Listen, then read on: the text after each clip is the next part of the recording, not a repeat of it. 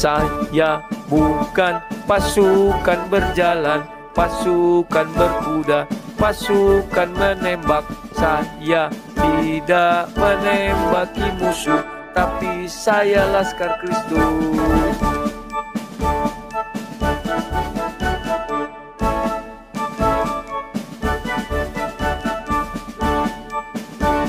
Kawan-kawan semua, malam ini kami uh, bertemu lagi dengan Bapak yang kemarin yang saya katakan seorang muslim yang berilmu ya, tidak seperti yang lain itu asal nyoros-nyoros saja daripada uh, channel Muslim Menjawab. Dan kami berdua pun sudah menonton video tersebut. Ter ada dua bagian yang sudah keluar ya. Yang bagian pertama mengenai uh, Al-Maidah 116 nah, itu ya. dan banyak tuduhan-tuduhan kepada Bapak ini yang dilentarkan Muslim uh, menjawab itu ya nanti kalau Bapak ini mau menjawab silakan kalau tidak ya biar aja jadi misteri ya kawan sekarang ada pembicaraan kami di awal yang sekitar 10 menit uh, biar Bapak ini kalau mau mengulang silakan karena kami kemarin rencana tak mau merekod tapi akhirnya merekod ya. Oke, saya persilakan Bapak ini untuk mengkonter per pernyataan dari Muslim menjawab itu. Silakan Pak. Oke, terima kasih kesempatan. Assalamualaikum warahmatullahi wabarakatuh. Shalom, salam sejahtera untuk semua. Saya melihat video kemarin sanggahan itu, uh, saya ingin memulai dari mana ya?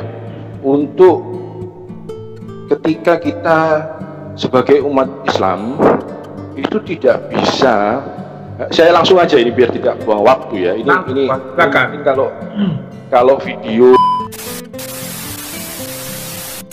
nanti ada sanggahan lagi saya uh, tidak menanggapi lagi ya. Jadi ini biarlah yang jadi yang saya jelaskan itu. Uh, kita umat Islam itu tidak bisa memahami iman kekristenan itu dari kacamata Al-Qur'an. Ya. Kalau kalau boleh saya bilang Al-Quran itu ayat-ayatnya kontroversial atau berpolemik. Kita coba uh, ulang dari pembicaraan yang 10 menit kemarin yang belum direkam. Itu dimulai dari surat Al-Maidah ayat kata bahwa lakot kafarul ladina qulu innallaha wal masih ibn Maryam. Jadi telah kafir. ini Al-Quran ini berdebat dengan kata-kata yang telah kafir. Orang yang mengatakan bahwa Allah itu Al-Masih putra Maryam atau Yesus. Nah, ini tidak ada kita dapati di dalam iman iman kekristenan bahwa Allah itu Yesus. Tapi yang orang Kristen yang imani adalah bahwa Yesus itu Tuhan. Jadi ini these two statement are different. Ya. Lalu apa yang sebenarnya dituduhkan Al-Qur'an ini? Nah, lagi-lagi ya lagi-lagi dalam uh, surat Al-Maidah ayat 73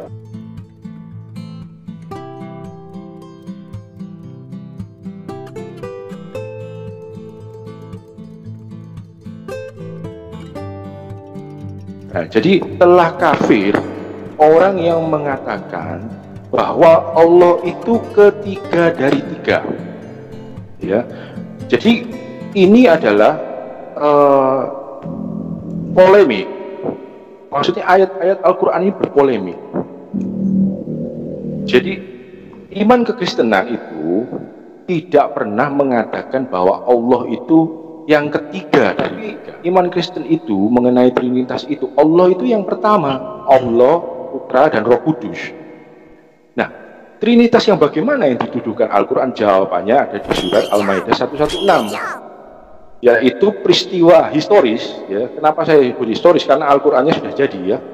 Peristiwa historis yang menceritakan peristiwa eskal jadi ada pembicaraan antara Allah dan uh, Isa yang di mana kalimatnya adalah engkau Isa menjadikan dirimu dan ibumu dua Tuhan. Ilah ini itu dua Allah. Tuhan.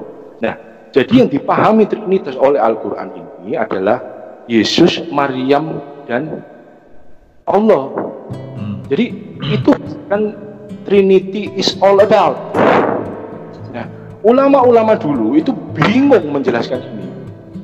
Dicatat dalam uh, Ibnu Kasir, Al-Qurtubi ya mereka beranggapan bahwa yang dikritik oleh Al-Quran itu itu Kristen heresy yang orang Kristen sendiri yang Trinitas sendiri konsili Indonesia itu mengkondem Kristen itu ya. Ini kemarin untuk eh, Muslim menjawab itu anakronisme terjadi. Dia menyebut bahwa kelompok heretik Koliridian ini itu ada di tahun 350 sampai 450. Ini ini ngarang bebas namanya. Koliridian itu ada di abad ke-4 sampai abad ke-7. Jadi Nabi Muhammad hidup itu masih ada kelompok heretik itu.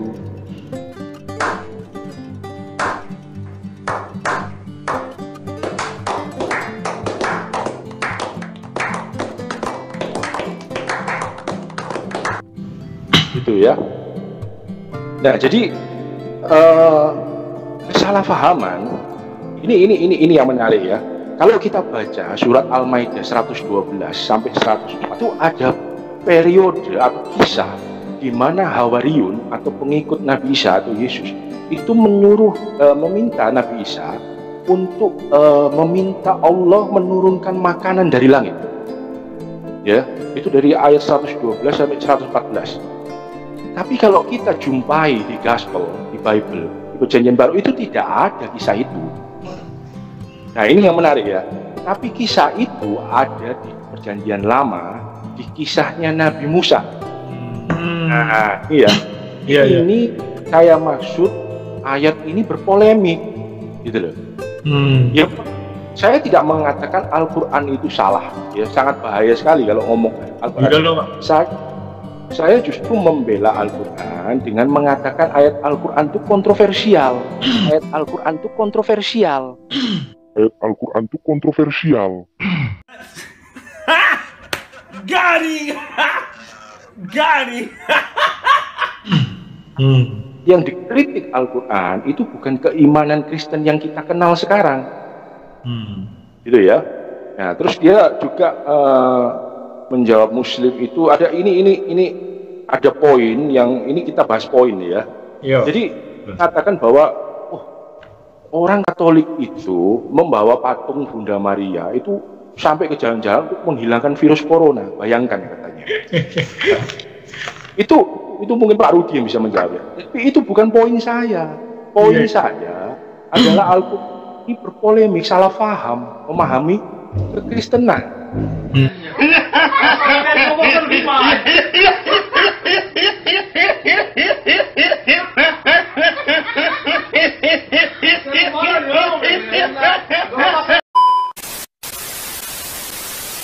Hmm. saya ya. Jadi nanti kit- eh, saya membahas tiga poin saja, tidak usah banyak-banyak. Jadi, eh, yang poin selanjutnya itu mengenai kritikan dia terhadap surat Al-Mu'minun. Hmm. Ya. Sebentar, sebentar. Saya masuk ke sana ya. Ini ini begini. Jadi Nabi Muhammad pada waktu hijrah ke Madinah, Madinah ya, itu ada hubungan abitase, hubungan saling menguntungkan dengan Yahudi di sana. Itu sekitar tahun 622 sampai 624 ya. 624 itu hubungan abitase itu dengan Yahudi gagal karena orang Yahudi dan Kristen tidak menganggap Muhammad itu sebagai nabi. Karena Nabi Muhammad itu waktu dites ya, ibaratnya dites itu untuk Taurat dan Bible itu eh, risalahnya apa? Pernyataan-pernyataannya tidak sesuai. Hmm. dengan ya, jadi mereka itu menolak kenabian Muhammad. Jadi eh, Nabi Muhammad akhirnya melakukan tu- tuduhan ya tuduhan kepada Bible Kristen atau Taurat bahwa telah dipalsukan tanpa menyebut eh, secara gamblang atau asertif eh, mana pasal berapa dan ayat berapa yang dipalsukan.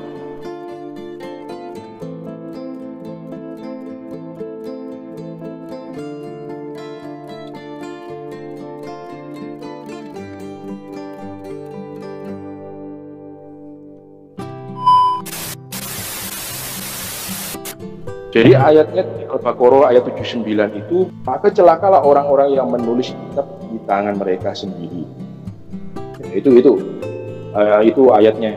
Eh, Jadi saya mengutip dari sarjana yang sangat terkenal dari Denmark yang bernama Frank Bull dalam bukunya yang eh, diterjemahkan dalam bahasa Inggris ya, The Teaching of Muhammad. Nah, tuduhan Muhammad untuk bah- menyatakan bahwa Taurat dan Bible itu palsu, itu sebetulnya satu-satunya cara Muhammad menghindari situasi yang berbahaya. Berbahaya dari siapa? Dari Yahudi dan pengikutnya sendiri. Kenapa seperti itu? Karena Muhammad yakin bahwa isi perjanjian baru dan lama itu senada dengan risalah yang dia sampaikan, namun gagasannya tentang peristiwa dan hukum dalam perjanjian lama ternyata mengandung kesalahpahaman sehingga memu- memunculkan kritik dan cemooh dari orang Yahudi yang kemudian mendustakannya. Jadi Nabi Muhammad didustakan ya satu-satunya cara supaya dia tidak tinggal oleh pengikutnya dan tidak dianiaya oleh orang Yahudi, dia menuduh bahwa Taurat telah dipalsukan.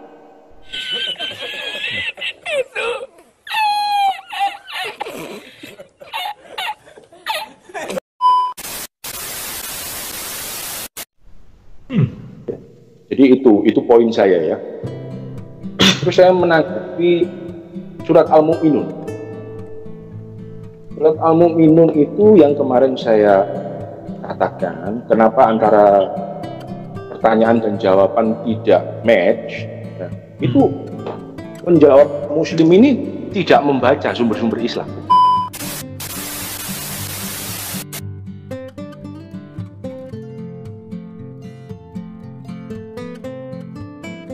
Ya penja em, ya itu dia dia tidak membaca sumber-sumber Islam. Padahal ya kalau kita mau baca Tobari misalnya ya Tobari dengan kitabnya yang terkenal Jami'ul Bayan Fih Ta'wil Ail Quran ya itu berjilid-jilid. Nah surat Al-Mu'minun itu itu tercatat di dalam bukunya Kitabul Masohef Ya, dari judulnya saya sudah menarik. Masohef itu bentuk jamak dari Musa. Berarti dulu e, Mushaf Al-Quran itu tidak satu, tapi banyak. Kitabul Masohef itu yang menulis adalah Ibnu, Ibnu Abu Daud Al-Sijistani. Jadi dikisahkan bahwa ini peristiwa historis ya. E, Abdul Malik bin Marwan itu khalifah kelima Islam itu mempunyai tangan kanan, the right hand. Namanya Hajjaj bin Yusuf, seorang gubernur dengan tangan besi. Dia agresif sekali Hajat bin Yusuf itu membuat satu komite. Komite eh, ini katanya apa ya? Editing ya, editing untuk Al-Qur'an itu ketuanya adalah Ubaidullah bin Siyah. Nah, mereka itu berdebat sebetulnya. Kayak gini ya, ulama-ulama dulu itu sangat terbuka. Meng- mengatakan Al-Qur'an salah itu biasa. Gitu. Tinggal menjawab muslim ini dia tidak baca itu. Dia hanya bisa ngaji, bisa nulis angka sedikit, ya, setting dari Wikipedia dan Google. Him! Got him!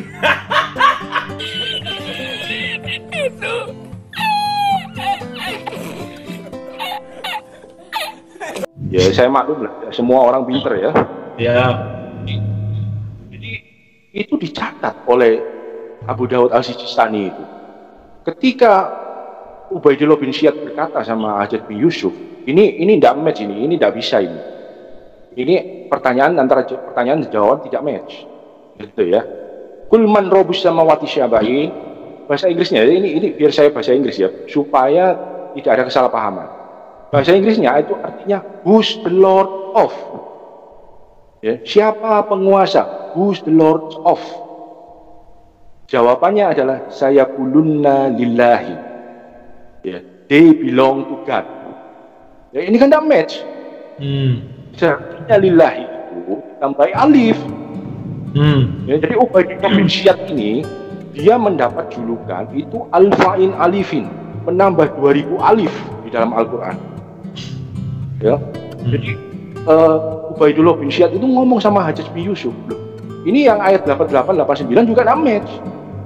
Jadi kulman biyadihi malakutu ya dan seterusnya itu itu artinya dalam bahasa Inggris in the hand who the hands of ya jadi di tangan siapa? Jawabannya lagi-lagi they belong to God. Nah, ini kan tidak nyambung tidak match. Karena di dalam surat Anam kalau pertanyaannya kuliman nah itu baru match. Karena di dalam surat Anam ayat 12 itu ya ada ada ada kata-kata seperti ini kulima mafis samawati wal ard jawabannya kullilahi. Nah, itu baru match. Hmm. Karena kulliman. Nah, itu milik siapa? He belong to who? Belong to God. Nah, jadi itu. Jadi orang ini tidak baca sumber-sumber Islam. Dia hanya baca Wikipedia, baca Google. Akhirnya jurumus di dalam kesesatan yang nyata. Gitu loh. Hmm. Jadi asal dan dia menertawai loh. Dia menertawai loh ya ini. Ini peristiwa historis yang di, dimaktubkan di dalam kitab eh, Sunan Abu Dawud Al Sistani. Loh, dia diketawai loh ulamanya sendiri. Bayangkan itu. Hmm. Di Ubaidul Syia itu diketawakan lu kok.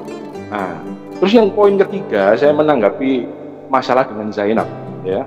Saya kan Hmm. bilang ini dari saya gitu loh. Ini saya mengutip dari ulama Sunni yang bernama Fazrul Rahman. Fazrul Rahman dalam buku Islam and Modernity tahun 1982 itu apa me- menyatakan bahwa Al-Qur'an itu 100% perkataan Allah, 100% perkataan Muhammad. Nah ini biar imbang ya, saya saya ungkap ulama dari Syiah juga, Abdul Karim Asyurus. Dia ngomong, everything he think, Muhammad think, everything he imagine is the part of the revelation. Jadi itu itu bagian dari wahyu sendiri. Hmm. Jadi kita jangan heran apa pun yang dipikirkan Muhammad kata surus ya, ini kata surus itu jadi wahyu. Contohnya seperti mohon maaf skandal Zainab dan Zaid Hmm. antara Muhammad dan Said di Al-Asr 37. Loh, ini kan tidak ada hubungannya sama wahyu, kenapa kok ada dalam Al-Quran? Nah, iya. itu. Jadi Asurus itu ngomong, apa-apa. Itu loh, everything he think, everything he imagine is the part of the uh, revelation itself. Itu loh, enggak apa-apa. Jadi orang ini enggak paham. Jadi dia waktu di Sirah Nabawiyah itu ya, di di Ibnu Hisham itu menceritakan bahwa suatu saat Nabi Muhammad itu mampir ke rumahnya Said. Said tidak ada. Said itu anak angkatnya dari budak dibebaskan oleh Nabi Muhammad, dinikahkan sama bangsawan namanya Zainab. Dia itu orang cantik di Madinah. Ya mungkin terseksi ya. Nabi Muhammad suatu saat main ke rumahnya, melihat Zainab itu mungkin auratnya agak tersingkap, ya. Ya, akhirnya ya kalau eh, apa namanya eh, sorry Ibnu Kasir Ibnu Kasir menceritakan Nabi Muhammad ini sepertinya tertarik gitu ya. Hmm. Said mengetahui karena cerita dari Zainab mungkin ya akhirnya Said eh, apa namanya minta diceraikan dengan Zainab nah ini kan sebetulnya Hmm. gitu ya apa kok dimasukkan di dalam Al-Quran Hmm.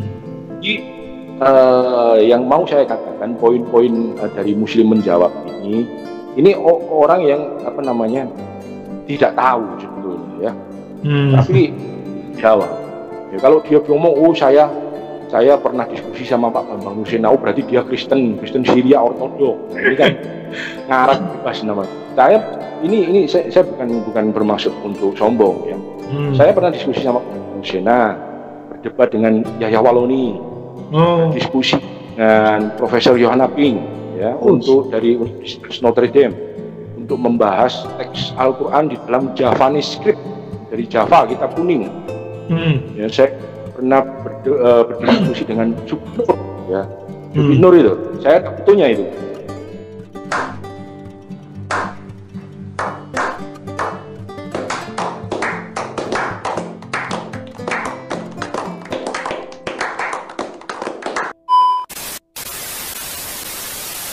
Jadi eh, ini mungkin nanti eh, saya serahkan Pak Rudi untuk menjawab dari pihak dari sisi kacamata Kristen. Silakan Pak Rudi. Oke oke Pak, terima kasih Pak ya. Jadi begini Pak, saya juga sudah sudah tonton ah, videonya menjawab nah, Muslim menjawab itu ya. saya heran aja melihat dia Pak. Dia tidak mengerti konsep Al-Maidah 116 itu.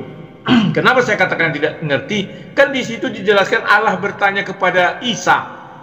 Artinya bahwa kejadian itu harus zaman Isa hidup, bukan zaman Isa sudah di langit. Kan demikian.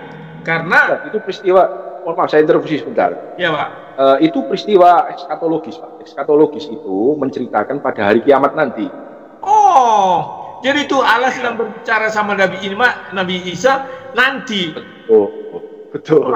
Itu peristiwa eskatologis. Iya iya iya. Nah, saya interupsi sebentar. Itu peristiwa eskatologis, tapi tercatat secara historis. Nah, itu Ya. dia. Hmm, betul, betul. Nah, makanya Ya, saya bilang, di- dipaparkan dia bahwa tahun sekian ada begini Bogono, semua dibilang dia kan, sampai EP itu segala macam. Loh, kalau kita bilang itu peristiwa nyata, artinya harus terjadi tahun 1 sampai tahun 333 dong. Nah, Betul, betul. semua yang diucapkan dia itu sudah mulai di atas abad ketiga. Artinya tak tak ada per- pembicaraan itu artinya betul Bapak bilang kalau di dunia nyata artinya tahun 1 sampai tahun 33 itu artinya ucapan kosong.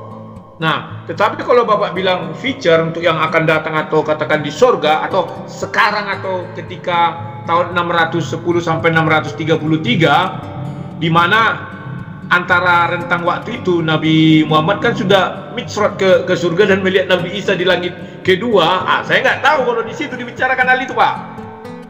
Tapi kalau kalau menurut yang apa gaya bicaranya kan kayaknya di bumi bahwa ada nggak Oke. or- Hmm, kenapa?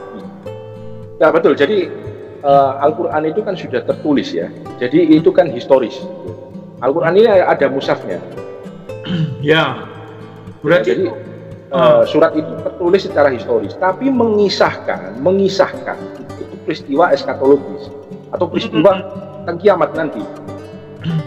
oh pembicaraan itu berarti di hari kiamat bukan saat Nabi Isa Ya, hidup. Betul, kalau menurut asbabul nuzulnya, asbabul nuzulnya ya. Jadi Hmm, eh, sama seperti surat Al-Qamar ayat 1, surat bulan itu ya. Jadi Hmm. bulan terbelah itu itu yang dimaksud adalah peristiwa eskatologis waktu kiamat nanti, bukan Oh. mukjizatnya Nabi Muhammad sekarang terbelah. Kalau NASA itu bilang?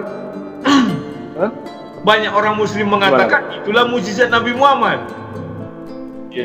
itu nggak ngerti Al-Qur'annya saja itu. Bro. Oh, orang-orang begini mau yang diajak ngobrol, Pak. Kalau kita ajak unyu-unyu sama unyu-unyu hasilnya unyu-unyu. Garing! Garing! ya kan gitu. Kalau kalau seperti Bapak ini ibaratnya kan pandangannya sudah udah kayaknya sudah katem lah. Walaupun kita belum pernah Sama aja, Pak. Hah? Sama aja. Saya lagi juga lagi Ah. belajar. Sama. Tapi intinya Bapak membuka wawasan Bapak tidak mempersempit. Kalau sekarang yang saya lihat kristologi itu orang itu mempersempit wawasannya, ya kan? Hmm. Contohnya ah, yang ke- tadi Bapak bilang mengenai apa? Al-Azab 37 itu ya. Kalau kita lihat s- orang mengatakan kenapa apa-apa yang dilakukan Nabi Muhammad pasti turun ayat. Apa-apa yang dilakukan Nabi Muhammad pasti turun ayat. Kan demikian. Ya. Tapi ada Betul. tuduhan orang-orang Kristen juga, apakah Allah melayani Nabi Muhammad? Kan demikian jadinya. Ya. Makanya Jadi untuk eh, jadi untuk ini sebentar saya interupsi. Jadi untuk misalnya ada dua hal yang saya mau omongin ya. Eh, pertama da- dari Muslim menjawab itu dia bilang bahwa mengutip kata-katanya insan Mogoginta. Katanya Hmm. Islam itu lahir untuk mengkritisi Kristen.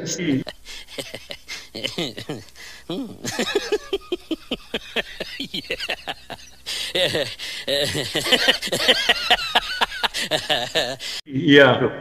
Nah ini ini kan kata-kata yang sangat eh, tidak masuk akal menurut saya. Dia Hmm. percaya kalau Islam itu dari zaman Adam sampai Muhammad. Tapi dia ngomong katanya Islam itu lahir. Nah, Hmm. Kata-kata lahir nih ya, lahir Iya. untuk mengkritisi Kristen. Nah, ini kan aneh menurut saya. ya. Ini kan Mogoginta itu kan mual lah ya. Harusnya belajar banyak itu. Betul, Pak. Itu. Ah, kalau ada kata-kata lahir artinya dia datang setelah Kristen itu ada, kan demikian. Iya. Terus Ah. eh, untuk untuk kepercayaan umat Islam yang historis ya, misalnya Ka'bah itu dibangun oleh eh, Ibrahim dan Ismail, Ya. itu tidak terkonfirmasi dengan baik secara historis. Betul. Kenapa? Kalau memang eh, pertanyaannya sederhana, kalau memang itu dibangun oleh Ibrahim. Ibrahim dan Ismail, kenapa umat umat Islam kiblatnya itu mengarah lebih dari Betul. satu dekade ke Yerusalem? Betul. Baitul Maqdis. Ya, nah, Baitul Maqdis. Ya, Baitul Maqdis itu kan komplek Al-Aqsa dan Dome of the Rock itu, Masjid Tuba Iya. Batu gitu kan. Saya juga Hmm. pernah nanyakan demikian. Kalau memang itu duluan di, di- di- diciptakan atau didirikan Ibrahim, kenapa tidak ke Mekah duluan, tapi terbalik malah ke Yerusalem baru ke Mekah? Iya, ya, betul, betul, betul.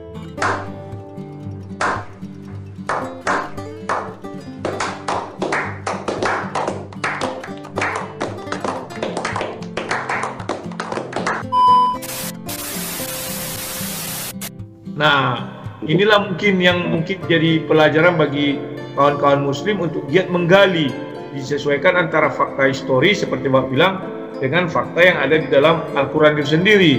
Dan ini juga kalau membicara Al-Quran kan nggak bisa hanya berpatokan pada Al-Quran itu Pak. Harus ada kitab-kitab pendukung. Ini ini juga sebuah kesulitan loh Pak. Saya kadang Jadi kesulitan. begini, ah, jadi begini, ini mohon maaf ya.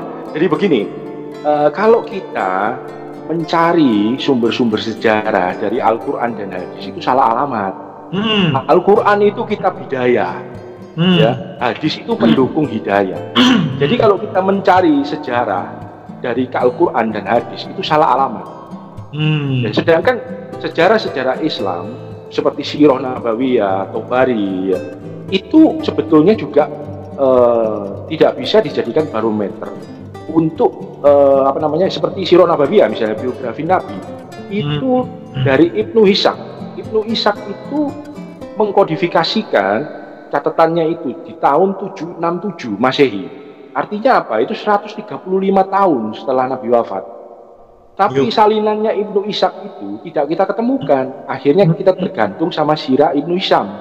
hmm, Nah, Ibnu Hisham sendiri itu wafat tahun 833 Masehi, artinya 201 tahun hmm. setelah Nabi Muhammad wafat. Sedangkan hadis yang paling sahih itu 240 tahun tahun setelah Nabi Muhammad wafat. Nah, Ya, ini Pak, mumpung, Nah, mumpung, mumpung saya lagi bicara dengan Bapak, saya sudah tanya ini, tapi saya pikir ilmu mereka belum mumpuni ya, seperti si Nandar, baru si Zulkifli, karena masih itu yang muncul. Saya pertanyakan begini Pak, ketika Al-Quran, eh hadis ditulis kan ada perawinya. Dan dan mereka mengatakan itu bukti silsilah yang benar dan itu bukti keaslian. Nah sekarang saya juga sudah modal-modal googling juga pak ya, karena untuk mencari sejarah sejarah itu kan perlu juga sekali-sekali. Jadi saya lihat penulisan Al-Quran itu bukanlah dikoreksi oleh Nabi Muhammad 100%. Yang kedua itu ditulis jadi buku setelah Nabi Muhammad wafat. Bahkan di, di beberapa literatur Islam mengatakan banyak ah, hafiz yang menghafalkan itu dan dikumpulkan. Pertanyaan saya, kenapa di hadis dituliskan perawinya, sedangkan di Al-Quran tidak dituliskan hafiznya? Kan demikian. Sampai sekarang belum ada yang bisa menjawab, Pak. Bagaimana menurut Bapak?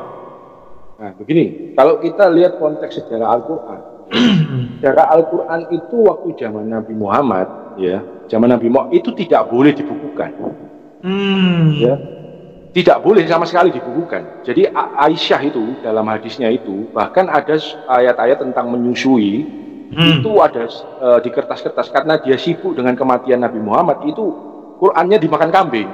Hmm. Jadi itu benar. Tuhan makan kambing itu ya. Iya. Jadi ini ini ini hadis, ini hadis sahih gitu loh. Iya. Semua orang Islam pasti tahu Isa itu. Nah, jadi Al-Quran itu ketika Nabi Muhammad wafat, pertama kali yang mengkodifikasi atau mengumpulkan itu Abu Bakar yang punya inisiatif. Hmm. Khalifah kedua. Ya, Khalifah kedua itu mengumpulkan uh, jelas tidak tidak ada ditu- apa namanya? ditulis perawinya tidak karena yang dipakai sebentar ini saya cerita jalannya dulu ya sebentar saya belepotan ini Abu Bakar itu meminta dikodifikasikan hingga sampai zaman Khalifah ketiga yaitu Utsman bin Affan Hmm. ya, Utsman bin Affan itu menyuruh Said bin Taubid untuk membukukan Al-Quran Hmm. jadi eh, Al-Quran yang dikumpul eh, dari Said bin Sabit itu dikirim ke sembilan provinsi, sembilan kota. Ya Basra, Baghdad, Damaskus, Yerusalem, Kairo, Eden, eh, Alexandria, Herat, dan Nisapur. Ya, ini kalau kita bicara sejarah.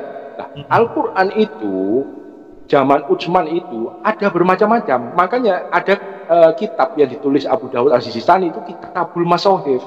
Hmm. Jadi dari dari versi saya saya enggak, saya juga kurang hafal itu ya. Itu dari versi Ubay bin Ka'b misalnya.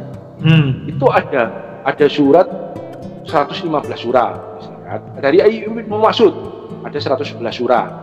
dari eh, Abu Musa misalnya ada 116 surat. Nah, Hmm. sama Utsman bin Affan itu dikanonisasikan dan yang dipakai itu versinya Said bin Sabit. Yang Hmm. lain dibakar. Gitu. Ya, jadi metode yang dipakai untuk eh, Al-Qur'an dari Hafiznya. Hafiznya ini kan banyak yang meninggal di perang Yamama. Iya. Nah, jadi Hafiz yang di- dipakai oleh Utsman untuk mengkanonisasikan apa, Al-Qur'an itu eh, dari Said bin Taubid sebetulnya. Hmm. Jadi memakai ilmu isnad. Nah, metode isnad. Isnad itu jalur transmisi lisan atau hafalan. Hmm. Sedangkan kalau hadis, nah hadis itu kan perilaku ya, perilaku Nabi, omongan Nabi. Nah, itu ilmunya ada dua, ilmu metode isnad dan sanad. Sanad itu jalur transmisi lisan dari periwayatan. Hmm. Iya iya iya. Jadi misalnya Bukhari meriwayatkan ini ini ini, ini sampai kepada Nabi gitu loh. Hmm. Jadi itu menurut saya. Nah. Jadi kalau Al-Qur'an itu perawinya tidak mungkin ditulis karena dari satu versi Said bin Taubid itu tadi menurut sumber-sumber Islam. Nah, sekarang saya ada pertanyaan lagi nih Pak. Itu ya. Wah, jadi saya yang bertanya nggak apa-apa ya Pak ya? Tidak apa-apa. nggak apa-apa. Lebih bagus saya bertanya daripada sok-sokan. Begini Pak. Kalau saya bisa insya Allah saya jawab. Iya. Karena belum ada yang bisa menjawab, Pak. Saya saya jadi agak apa ya? Nah, sekarang begini, Pak. Ketika perawi itu uh, ikut sama Nabi Muhammad, apakah mereka ikut mulai dari 610 sampai 633? Kan itu pertanyaan pertama. Yang kedua, apakah dia di samping Nabi terus sehingga dia tahu apa yang terjadi? Demikian juga uh, pengarah uh, pengarah, demikian juga perawi. Demikian juga asbabun itu. Asbabun itu kan sejarah turunnya eh, riwayat turunnya eh, ayat itu. Artinya orang yang meriwayatkan tahu dari mana? Apakah dia ke mana Nabi ikut, dia ke mana Nabi ikut, atau atau bagaimana? Itulah maksud saya Pak. Jadi begini, kalau misalnya dalam sejarah Al-Quran ya, Hmm. itu ketika Nabi dimasukin wahyu,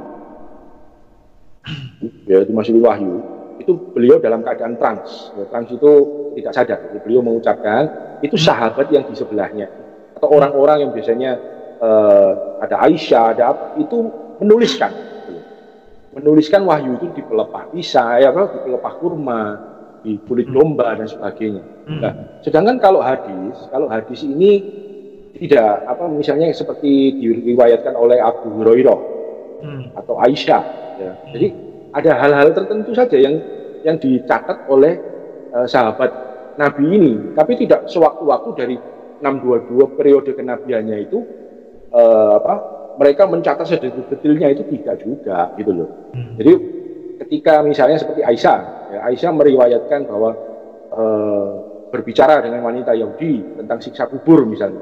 Hmm. Wanita Yahudi ada yang ngomong siksa kubur itu karena kencing. Ya. Oh nggak mungkin. Aisyah itu kan paling kritis, paling pintar ya. Nggak Hmm. mungkin. Tapi keluar mau sholat. Nah, kalian ini ngomong apa? Ini siksa kubur dari dari kencing. Loh, dia berkata benar katanya Nabi. Orang Yahudi itu berkata benar. Dan Hmm. sejak saat itu Nabi Muhammad itu sholat, em, meminta doanya meminta perlindungan dari sisa kubur. Padahal sebelum sebelumnya nggak pernah. Ya, itu itu hadis yang meriwayatkan Aisyah gitu loh. Hmm, hmm, hmm.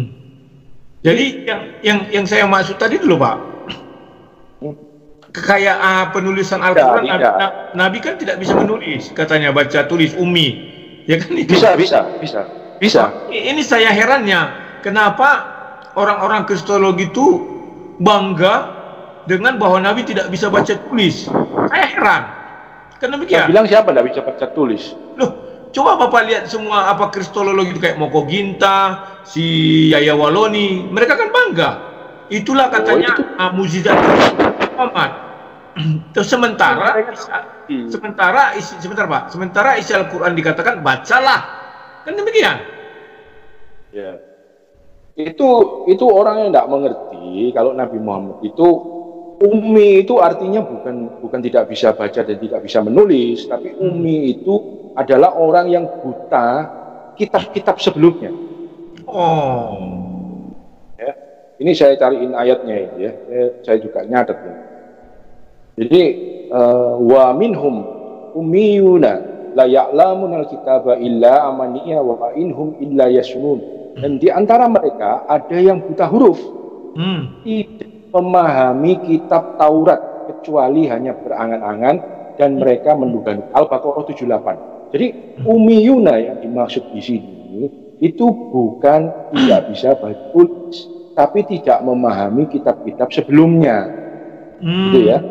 Hmm. Hadis diceritakan Baidullah bin Abdullah, Ibnu Abbas berkata, ketika Rasulullah berada di ranjang kematiannya dan ada beberapa orang di rumah itu termasuk Umar bin Khattab ya itu ya. Dia berkata, "Mendekatlah, aku akan menulis untukmu sesuatu yang setelahnya kamu tidak akan tersesat." Hadis ini sohe. Hmm. Hadis ini diriwayatkan di Sahih Bukhari. Hmm. Jadi itu itu mitos. Kalau Nabi Muhammad itu tidak bisa baca tulis itu mitos, ya. Kalau dia ngomong ikro, ikro itu artinya bukan bacalah, bukan hanya bacalah, tapi Hmm. ulangi. Hmm. hmm. Jadi kalau orang Islam sekarang karena demi kenabian Muhammad dia berkata bahwa ikro itu bacalah, gitu. Padahal Hmm. artinya bisa macam-macam gitu. Iya iya iya. iya. Kalau misalnya tadi Pak Rudi bertanya tadi masalah perawi hadis eh, orang-orang ini mencatat seluruh itu oh tidak gitu Hmm. tidak jadi setelah eh, 20 tahun kenabiannya ya tidak selalu dicatat dong Iya makanya saya apakah mereka ikut terus dan pertanyaan saya juga kepada mereka, apakah Hafiz ini menghafal mulai dari surah pertama sampai surah 114? Kan demikian atau sepenggal-sepenggal? Atau ada yang mati sehingga ada beberapa bagian yang tidak masuk ke dalam Al-Qur'an? Kan katanya Hafiz banyak yang mati. banyak yang mati di perang Yamama Hmm. Jadi ada dugaan ada beberapa bag- ah, bagian atau firman yang tidak masuk karena orang itu kan tercerai berai mati itu. betul betul jadi Hmm. surat Al-Asad juga dikirakan lebih panjang dari yang sekarang dulu Nah, itu dia. nah, Cuman jadi kalau memang kalau orang yang yang ini dia kan cenderung tidak mengerti pak. Tapi kayak kayak bapak ini saya lihat pemahamannya memang sudah terbuka nggak tertutup sehingga saya berbicara bisa masuk kan gitu. iya iya alhamdulillah kalau gitu Oke lah, Pak. Izin Pak, Hah? kita sudah diskusi 36 menit. Kita Ya. sudahi dulu di sini. siap Kalau nanti Bapak apa kan ada dia buat juga itu udah keluar yang versi duanya Pak. Rupanya banyak versi dan anggapi si Mualabi eh Mualaf Muslim menjawab itu. Kita sudahi di sini dulu Pak ya. Sampai jumpa ya Pak ya. siap siap terima kasih Pak Uji Ya, sama-sama. Terima kasih, terima Pak. kasih. Yuk. Yuk.